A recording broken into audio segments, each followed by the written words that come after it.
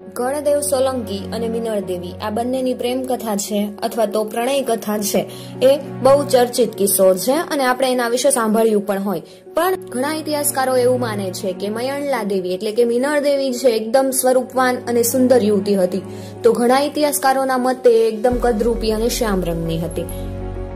સર્વસામાન્ય મત મુજબ જે મયણલા દેવી છે એ કર્ણાટકના રાજા જયકેશીની પુત્રી હતી અને આ જે જયકેશી છે એના દરબારમાં કર્ણદેવ સોલંકીનું સરસ મજાનું ચિત્ર જોયું, ત્યારથી જ મયણલા છે એના તરફ આકર્ષાય અને પોતાના પિતાની અનુમતિ લઈ અને મયણલા છે એ અણહિલવાડ આવી અને ત્યાં એણે કર્ણદેવની સાથે લગ્ન કર્યા. તો ઘણા લોકો એવું પણ કહે છે કે કર્ણદેવ છે એકદમ સ્વરૂપમાન અને પરાક્રમી રાજા હતો. જ્યારે મીનળદેવી છે એ શ્યામ સ્વરૂપની હતી. એટલે આ શ્યામ રૂપ જોઈ અને કર્ણદેવ એની સાથે લગ્ન કરવાની ના પાડી. પણ રાજમાતા ઉદયમતીના સમજાવાથી કર્ણદેવ છે એ મિનળદેવીની સાથે પરણ્યો. અને ત્યારબાદ એને જયસિંહ દેવ નામનો એક પુત્ર થયો. જયસિંહ દેવ કે જેને આપણે સિદ્ધરાજ જયસિંહના નામે ઓળખીએ છીએ, સોલંકી વંશનો સૌથી પરાક્રમી રાજા. એવું કહેવાય છે કે નરવર્મા રાજા છે. એણે જ્યારે પાટણ પર હુમલો કર્યો, અણહિલવાડ પર હુમલો કર્યો. ત્યારે એમાં કર્ણદેવ સોલંકી છે, એનું મૃત્યુ થયું અને આ સમયે જયસિંહ એની ઉંમર ત્રણ વર્ષની હતી. ત્રણ વર્ષનો નાનો કુંવર છે, એની જવાબદારીની સાથે સાથે મિનળ દેવીએ રાજનો વહીવટ પણ સંભાળેલો.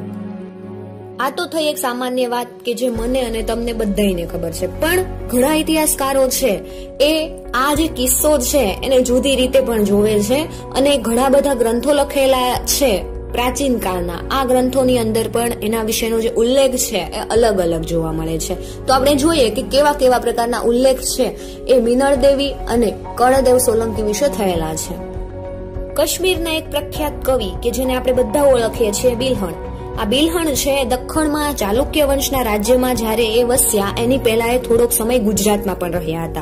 અને આ ગુજરાતમાં રહ્યા ત્યારે એમણે એક નાટિકાની રચના કરેલી. આ નાટિકા એટલે કર્ણ સુંદરી એવું કહેવાય છે કે જે આ બિલહણ છે, એણે આ કર્ણસુંદરી જે રચી છે નાટિકા, એ કલ્પિત છે. પણ ઘણા ઇતિહાસવિદો એવું પણ માને છે કે આ કર્ણસુંદરી એટલે જ મિનળ દેવી. અને એમાં જ મિનળ દેવીનો ઉલ્લેખ કર્ણસુંદરી તરીકે થયેલો છે. એમાં કર્ણદેવ અને મિનળ દેવીની પ્રણય કથા છે. કલિકા સર્વજ્ઞ તરીકે જાણીતા હેમચંદ્રાચાર્ય એક ગ્રંથ લખેલો છે દ્રયાશ્રય. અને આ ગ્રંથમાં કર્ણદેવ અને મિનદેવીની પ્રણય કથા અને પરિણય છે એ એમણે વર્ણવેલો છે. ચંદ્રપુરના રાજા જયકેશીની પુત્રી મયલ્લા અને જે કર્ણદેવ સોલંકી છે, એની પ્રણય કથા વર્ણવેલી છે અને એમાં એમણે મયણલાને પણ ખૂબ જ સુંદર, એટલે કે અતિ સુંદર અને સ્વરૂપમાન વર્ણવેલી છે. જે આ સુંદરી છે, એ પિતાની આજ્ઞાથી કર્ણદેવને પરણવા આવેલી અને આ પરણવા આવેલી અને ત્યાર પછી એમના લગ્ન થયા એ બધું વર્ણન હેમચંદ્રાચાર્યએ દયાશ્રયમાં કરેલું છે. એના બસો વર્ષ પછી લખાયેલી પ્રબંધ ચિંતામણી અને એની અંદર જયકેશી છે, એને કર્ણાટકનો રાજા બતાવેલો છે. અને એવું કીધેલું છે ભાઈ કે જે જયકેશી છે, એની પુત્રી મયણલા છે અથવા તો મિનળદેવી છે, એણે પૂર્વ જન્મનો સંકલ્પ લીધેલો હતો કે ભગવાન સોમનાથનો યાત્રાવેરો છે એ દૂર કરાવવો.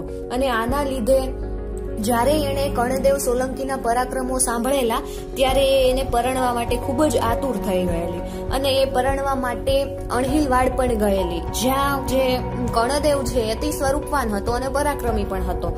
એટલે એણે મણેલાના શ્યામ રૂપને જોઈ અને એની સાથે લગ્ન કરવાની ના પાડી. એટલે વિનળદેવી છે, એમણે પ્રાણ ત્યાગ કરવાની ધમકી આપી. કર્ણદેવની માતા ઉદયમતી પણ મયણલાની સાથે પ્રાણ ત્યાગ કરવા માટે તૈયાર થઈ ગયેલા. એનાથી જે કર્ણદેવ સોલંકી છે, એ મિનળદેવીની સાથે લગ્ન કરવા માટે તૈયાર થયા. એટલે આપણે એવું કહીએ કે કર્ણદેવ છે, એ પોતાના માતૃપ્રેમને લીધે મિનળ દેવી સાથે લગ્ન કરવા તૈયાર થયા, તો એમાં કઈ અતિશયોક્તિ નથી. જો કે કર્ણદેવ લગ્ન પછી પણ ક્યારેય મીનળદેવી ઉપર એક નજર સુદ્ધા પણ ન નાખતો. એટલે એનો જે મંત્રી હતો, મુંજાલ મંત્રી, એણે એક દિવસ જે કર્ણદેવની કોઈ હિમકુલની પ્રેયસી હતી, એની જગ્યાએ મીનળ દેવીને ગોઠવી દીધી અને મીનળ દેવીને ઘણા બધા એવા તુક્કાઓ આપ્યા કે જેના લીધે એ કર્ણદેવને પોતાની તરફ આકર્ષી શકી. અને તે રાત્રે મુંજાલે કોઈ એની પ્રેયસીના સ્થાને મિનળ દેવીને બેસાડી દીધી અને એના કારણે એક પુત્ર છે એ મિનળ દેવીને પ્રાપ્ત થયો અને જેને આપણે જયસિંહ દેવ અથવા તો સિદ્ધરાજ જયસિંહના નામે ઓળખીએ છીએ, એ પુત્ર છે મિનળ દેવીને પ્રાપ્ત થયો. એના પછી આપણે એ પણ જાણીએ છીએ કે મિનળ દેવી છે એણે સિદ્ધરાજ જયસિંહ દ્વારા સોમનાથનો વેરો છે એ રદ કરાવ્યો. ઘણા ઇતિહાસકારો છે એવું માને છે કે મિનળ દેવીએ પુનર્જન્મમાં સોમનાથ મંદિરનો વેરો છે, રદ કરાવવાનો સંકલ્પ કરેલો હોય, એ વાત છે, એ માન્યમાં આવે એવી નથી. જોકે એવું બની શકે કે એના પૂર્વજો છે પૂર્વ દાદાઓ છે, પરદાદાઓ છે. એ લોકોને સોમનાથની યાત્રા કરવાની ઈચ્છા હોય અને વેરાના લીધે ન કરી શક્યા હોય, એ વાત છે. આ રાજપુત્રીના મગજમાં આવેલી હોય અને ત્યારથી એણે આવું નક્કી કરેલું હોય કે મારે સોમનાથનો વેરો છે, રદ કરાવી નાખવો. અને બીજી વાત કે કર્ણદેવ સોલંકીની જે પ્રેયસી છે, એના સ્થાને મીનળદેવીને ગોઠવવાની વાત છે, એ કદાચ ઘણા ઇતિહાસકારો છે, એને અજીબ માને છે અથવા તો વાતને નકારે છે. પણ એક વાત છે કે રાજપાટમાં ખટપટ છે એ પહેલેથી ચાલે જ છે, એટલે આવું બન્યું પણ હોઈ શકે. અને આવી બધી વાતોનો ઉલ્લેખ છે એ ઘણી બધી પ્રાચીન અને ઓથેન્ટિક બુક છે, એમાં પણ થયેલો છે. એટલે એક વાત હજુ પણ છે, કોઈ લોકો કહે છે કે મીનળદેવી છે? એકદમ સુંદર અને સ્વરૂપમાન હતી. તો કોઈ એવું પણ કે છે કે શ્યામ સ્વરૂપની હતી. જો કે પ્રબંધ ચિંતામણી અનુસાર અને જે ઓથેન્ટિક સ્ત્રોત છે, એના અનુસાર મોટા ભાગે એ વસ્તુ આપણે માની શકીએ કે મીનળ દેવી છે. એ શ્યામ